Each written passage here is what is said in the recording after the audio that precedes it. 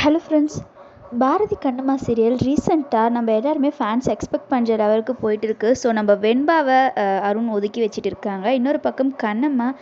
So இந்த பக்கம் லக்ஷ்மியை வந்து கண்ணம்மா கண்ணம்மாவோட பொண்ணு அப்படின்னு வந்து கண்டுபிடிப்பாங்களா இல்லையான்னு சொல்லி ரீசன்ட் ப்ரோமோ ஒன்று வெளியாகி இருந்தது ஸோ அப்பயும் வந்து கண்ணம்மா வீட்டுக்கு வந்திருக்க மாதிரியான சில விஷயங்கள் காட்டியிருந்தாங்க. அண்ட் நம்ம ஷூட்டிங் ஸ்பாட்லேருந்து அஞ்சலியோட வளைகாப்பு ஃபங்க்ஷனில் எடுக்கப்பட்ட சில வீடியோஸ் எல்லாம் வெளியாகி இருந்தது ஸோ அதில் நம்ம பாரதி அண்ட் கண்ணம்மா ரெண்டு பேருமே பக்கத்து பக்கத்தில் உட்காந்துட்டு சாப் சாப்பிட்டுட்டு இருக்க மாதிரியான சில சீன்ஸ் வந்து காட்டியிருக்காங்க.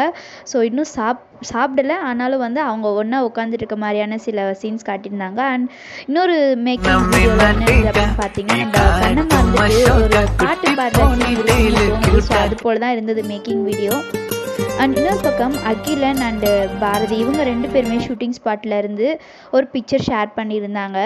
அண்ட் நிறைய பேர் இவர் சீரியலை விட்டு விலகிட்டதா சொல்லியிருக்காங்க. ஸோ நியூ அகிலன் வந்து சீக்கிரமாக இந்த சீரியலுக்கு வரப்போகிறாங்க அப்படின்னு சொல்லியிருக்காங்க.